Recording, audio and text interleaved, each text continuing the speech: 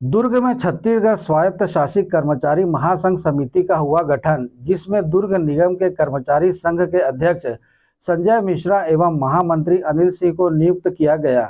दुर्ग नगर पालिक निगम स्वायत्त शासी कर्मचारी महासंघ के नए कार्य समिति का गठन किया गया, जिसमें दुर्ग नगर पालिक निगम कर्मचारी संघ के नए अध्यक्ष संजय मिश्रा व महामंत्री अनिल सिंह को बनाया गया। गौरतलब है कि छत्तीसगढ़ स्वायत्त शासी कर्मचारी महासंघ के महामंत्री शरद दुबे की अनुशंसा पर नगर पालिक निगम दुर्ग के नए कार्य समिति का गठन किया गया है, जिसके तहत दुर्ग नगर निगम के नवगठित कर्मचारी संघ द्वारा निगम आयुक्त लोकेश चंद्राकर से परिचयात्मक मुलाकात की गई। इस अवसर पर आयुक्त ने सभी पदाधिकारियों को बधाई व शुभकामनाएँ दी।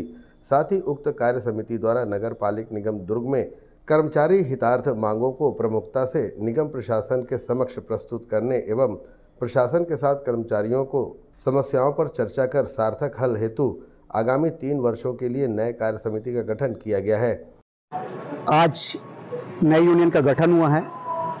स्वायत्त शासी कर्मचारी संघ, यह उम्मीद करते हैं कि हमारी जो मांग है और हमारे कर्मचारियों के बीच की जो पीड़ा है, उसे शासन तक के पहुंचाएँगे।